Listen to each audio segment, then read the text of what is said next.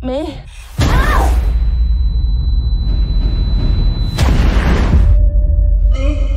Listen, this is what you're gonna do. A direct ascent to the surface. When you're up, call for help. Then you need to bring me extra air.